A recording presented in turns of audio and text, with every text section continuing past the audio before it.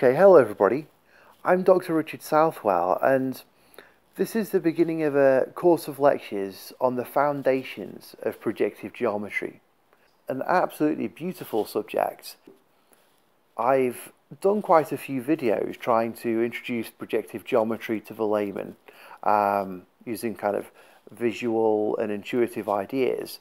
But what I'd like to do now with this course on the foundations of projective geometry is to take an axiomatic, more sort of rigorous approach using some algebra and proper proofs and such, and essentially to make a learning resource that people can use just by watching these videos and learn projective geometry to a relatively decent level.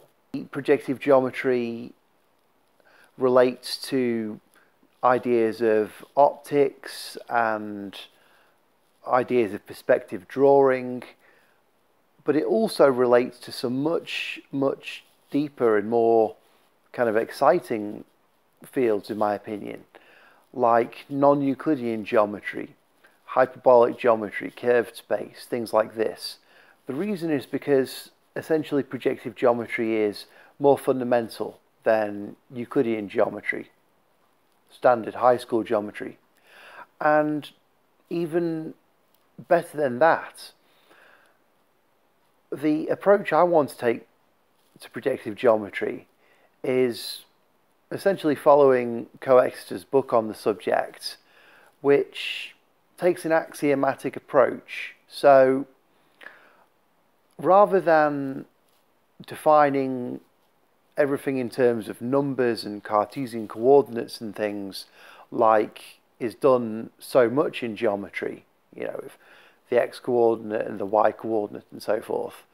Uh, we don't need to talk about numbers hardly at all. We don't need to talk about, well, we don't need to talk about metrics and distances and angles. Instead, we're just going to make some assumptions at the beginning about what our two-dimensional projective plane, our uh, arena which we're going to be doing geometry on is like, and then all of the things which um, follow are just logical consequences of those original axioms. Now, the reason why that's a great thing is because what it means is that the knowledge which we accrue is applicable to any system which satisfies those axioms.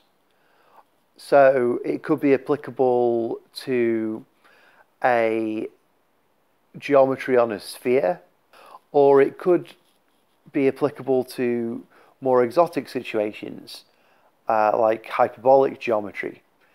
I'm not going to get into those notions, which are quite complicated and um, involve a lot of metrics, and I don't have to because projective geometry is more fundamental. It's it's below the idea of measurements. It's below the idea of curvature.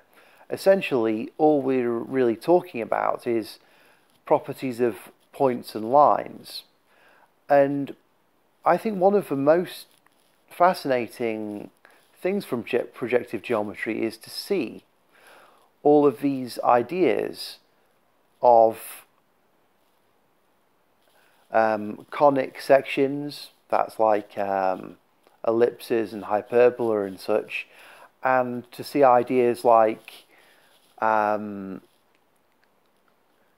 metrics and sequences of uh, rational numbers and things all kind of emerge from some much more basic axioms it's almost um, it's almost like a kind of genesis story of geometry where we can start with some logical ideas that a blind man could understand and um, just see all of the familiar notions of geometry emerge from these.